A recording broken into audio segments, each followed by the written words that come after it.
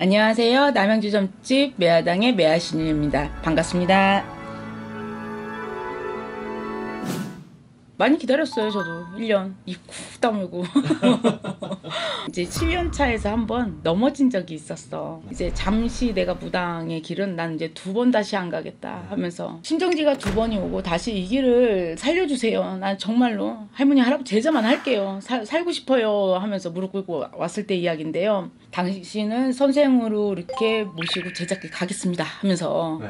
돈을 건넸단 말이지 내가 네. 거금을 어 이거 아무래도 사자 느낌 나는데 이거 사자 느낌 나는데 막 이러면서 있는데 어 나는 세상 천재 똥구멍으로 신 들어온다는 소리는 처음 들어봤어 그래서 그걸 따지니까 너 또 너무 건방져 어? 인간에서 못 내려놨구나 그러더라고 나한테 너는 안 되겠다 마음의 수련을 좀 해야 되겠다면서 108배를 또 시키더라고 그렇게 네. 하루에도 몇 번을 이렇게 시키는 거야. 말이 108번이지 하루에 다섯 번씩만 해봐. 1000배 이상 돼. 나는 그때 무릎 수술을 했었다 그랬잖아. 네. 근데 이거를 기마 자세를 하고 108배를 하루에도 몇 번씩 하고 하다 보니까 이게 무릎이 연골이 또 찢어진 거야. 병원에서요. 이게요. 좀 찢어졌대요. 저 다시 관절 정도 해야 되고 다시 해야 되나 봐요. 그랬더니만 그때 그때서야 겁이 났는지 그때부터는 안 시키더라고. 어쨌거나 내 친구가 신고 날이 됐어요. 신고 날이 됐는데 나도 이제 어, 친구가 또 신고수를 한다고 하니까 또 이제 경건한 마음으로 또 가줘야 될 거 아니야. 가려고 했는데 너는 오지 마 그러는 거야. 왜 보면 다 뽀록 나잖아. 아, 예. 뽀록 나잖아. 네. 삼산 돌 때도 내 친구 삼산 돌 때도 내가 이건 아니잖아요. 저건 아니잖아요. 이렇게 해서 오시지도 않는데 왜 그러세요 하면서 내가 막 옆에서 따져댔으니까 나는 어쨌거나 그분은 여기 자리에서 이사를 나갔고 나는 이제 여기다 이제 내 신당을 이제 꾸밀라고 이제 차리려고 이제 네. 나는 이제 막 청소를 하고 그러고 있었잖아. 이거는 아니지 하면서 내가 걸레를 딱딱 확 던지면서 그 선생한테 전화를 했어. 네. 나는 너를 도저히 선생으로 못 모시겠어. 내가 너 쫓아가다 보면은 내가 사입이 교주 될 것 같아. 음. 하면서 너랑은 나는 못하겠어. 연이 여기까지인가 보다 했어요. 네. 그러면서 잘랐는데 그리고 나서 내 친구가 내 연락을 차단을 해버리더라고. 내 친구는 완전 무지잖아요. 그렇죠. 무지잖아. 그러면서 있는데 어느 날 보니까 나한테 이렇게 이제 뭐 핸드폰에도 이렇게 모바일에도 뜨더라고 광고를 이렇게 올려놨더라고 음. 자기가 무슨 테마의 일 뭐 이거 하면서 내 친구 눕혀주고 눕혀놓고 무슨 테마는 쫙 하면서 이렇게 네. 전단을 있는 대로 만들어갖고 보고 있니 영숙이? 어 이름이 영숙이야 영숙이. 응. 구모모모 영숙이. 어? 조심해야 돼 포천에 있어.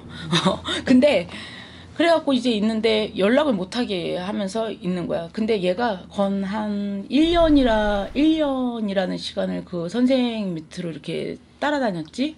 따라다녔는데, 신굿을 하면서, 신굿을 하면서 조상이 들 풀렸네, 뭐가 들 풀렸네, 뭐가 들 풀렸네. 그 너 이렇게 이, 이번엔 이굿해야 돼. 너 이번에는 이굿해야 돼. 너 이번에는 이굿해야 돼. 뭐 이굿해야 돼. 그리고 내가 요번에 뭐 하는데 돈 좀 줘봐봐.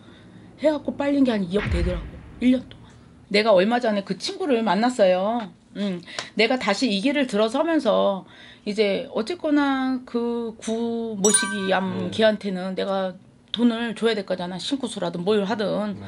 근데 내가 그때 돈이 조금 모자란 부분이 있어서 내 친구한테 음, 잠깐 빌렸던 게 있거든. 내가 어쨌거나 얘한테 빌린 금전이 있으니까 갚아야 될 거 아니야. 네. 근데 얘가 내 연락처를 차단을 해버렸잖아. 수신거부. 그러니까 그래서 문자를 남겼어. 네. 내가 너한테 돈을 줘야 되는데 너가 내 전화를 차단을 해버리면 난 너 계좌번호도 모르고 너 나한테 돈 좀 받게 연락 좀 해라 하면서 나 너한테 돈 줘야 되니까.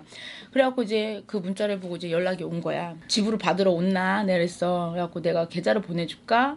아니야. 오랜만인데 얼굴 한번 봐야지 하면서 내 친구가 이제 왔어요. 왔는데 그간의 이야기를 이제 들은 거지. 어떻게 당하고 어떻게 당하고. 네. 나한테 그간에 뭐 차단을 하고 너한테 못되게 굴고 뭐를 했던 거 미안하다고 나한테 사과를 하더라고 진영 내 제 이름이 진영이에요.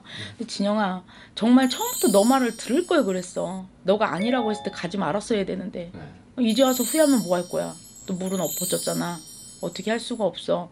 그리고 그분한테 네가 빌려준 돈은 받을 수 있을런가 모르겠다 나는. 걔가 하는 짓이 보면. 나는 그래 거의 이렇게 여기저기 얘기를 많이 듣잖아요. 근데 어 신도하고 무당 선생님하고 동거래 이것도 안 했으면 좋겠어 그러니까 아닌 선생님들도 많겠지만 네. 대부분들이 신도들한테 돈을 이렇게 빌리면은 그 돈 갚은 거 대신 너네 집에 못 풀어줄게 해서 그걸 거기 까는 선생들이 많더라고. 너무 아닌데 진짜 무당인 척하고 아무것도 모르는 일반인들한테 교주처럼 행동을 하고 돈을 끄집어 내 갖고 자기한테 다 투자를 하게 만들고 어 그 신도 하나 박사 인생 박살나게 만들고 나 이런 선생들 정말 없었으면 좋겠거든.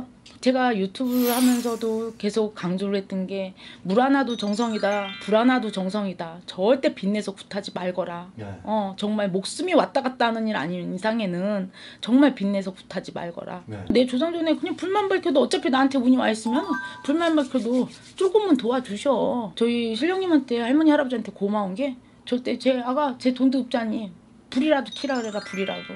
어? 불이라도 키고 지가 형편이 좋아져갖고 지가 좋다고 굿한다 그러면 그때 가서 나 시켜. 너무 감사한 거지. 아닌 무당들 너무 싫어.